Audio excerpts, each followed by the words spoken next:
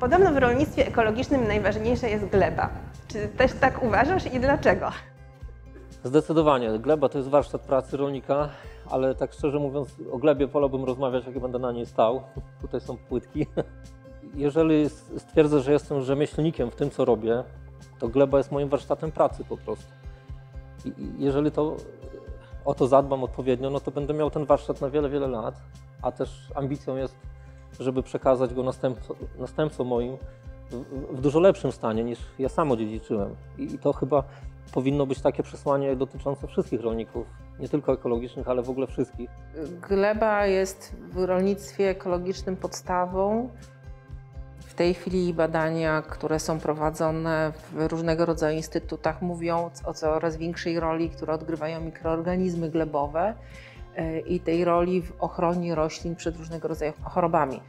Znaczy zdrowa gleba ma zupełnie inny skład mikrobiologiczny w stosunku do gleby, której się rozwija organizm patogeniczny. Przestawiliśmy się na ekologię dlatego, że prowadziliśmy intensywne gospodarstwo chemiczne yy, z zastosowaniem bardzo dużych dawek yy, nawozów, z pełną ochroną chemiczną, znaczy insektycydy, choroby grzybowe.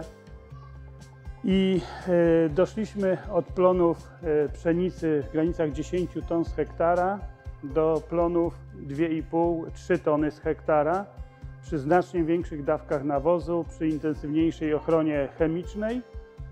I zaczęliśmy sobie zadawać pytanie, dlaczego. I yy, zaczęliśmy szukać przyczyn stwierdziliśmy, że y, główną podstawową przyczyną to jest degradacja gleby. Gleba to jest nasz warsztat pracy. To jak ją potraktujemy, y, jak będziemy się z nią obchodzić, to determinuje całe nasze działanie.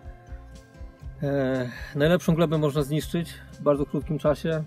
Odbudować żyzność gleby to często zajmuje wiele, wiele lat. Dbanie o glebę, o żyzność gleby to równa się później zdrowe rośliny, wysokie plony odpowiedniej jakości. Roślina potrzebuje gleby żyznej.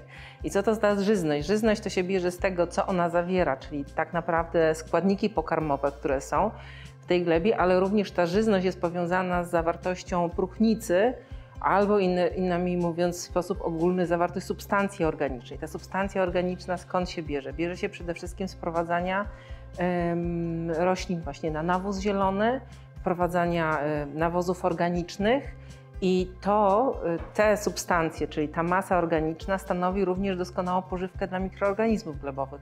Bez niego one się nie mogą rozwijać. Z drugiej strony mikroorganizmy glebowe powodują, że składniki pokarmowe zawarte w różnego rodzaju nawozach są bardziej przyswajalne przez rośliny. Także to się wszystko bardzo ładnie zamyka, ze sobą współpracuje.